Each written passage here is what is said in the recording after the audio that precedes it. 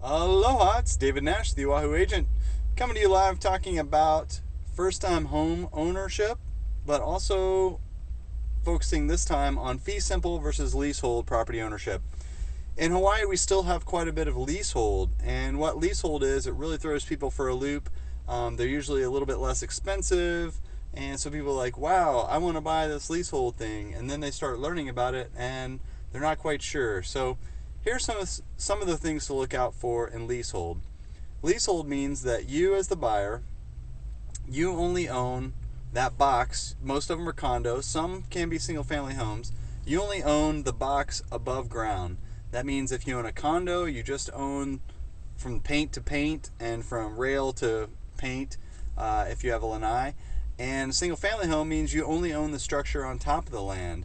And at some point in the future, some of these can be five years, 20 years, 50 years.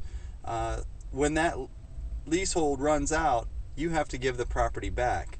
Now, that's only happened a couple times in Hawaii where people actually get booted out of their house and they're not allowed to renegotiate their fee for another 30 years or 50 years or moving on to find some amicable agreement with the fee owner who owns the ground underneath your, your structure. That said, it's always a possibility that they can just take the whole condo building back at the end of that. They can take the individual unit back because sometimes you have leasehold and fee simple inside one building. So it means that they're holding on to that lease. And at the time that lease runs out, you have to give the ownership back. So if you're if you're getting older and you're not worried about giving up uh, a lease in say 30 years, it doesn't have much value to you. You really want to live in that building. That's fine. If you're young and you have 40 or 50 years you may want to stay in a place, but you're looking at leasehold and it's only open for another 25 years, then you may want to keep looking for something that's fee simple.